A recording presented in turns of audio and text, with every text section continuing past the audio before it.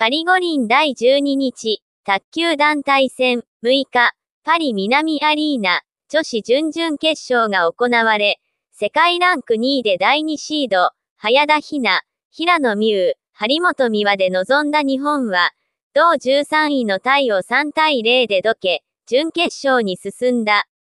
4大会連続のメダル獲得に王手をかけた。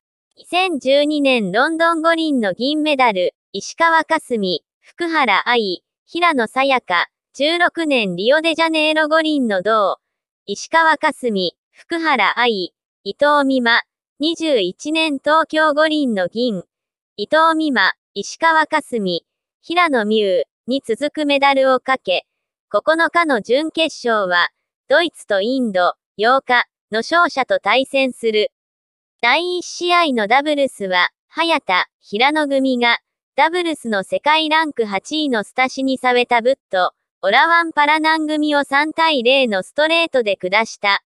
早田は、チャレンジャーの気持ちで試合をすることができて、昨日の初戦、より戦術や動きも良くなった。すごい、いい試合ができたと思います。ととうなずいた。3日に3位決定戦が行われたシングルス戦前に左腕を負傷した。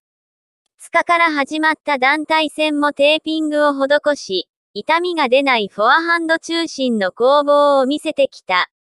相方の平野がうまくコースをつき、早田がフォアで決めてきた。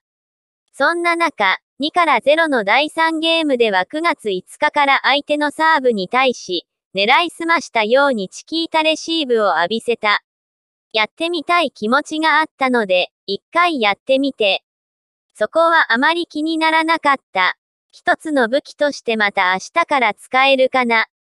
できることがまた一つ増えて、やっぱ卓球って楽しいって改めて思いました。と笑顔も見せた。悲願の金メダルまであと2勝。準決勝は1日空いて9日に行われる。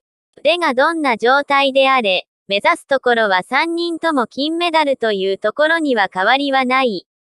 本当に頼もしいの一言。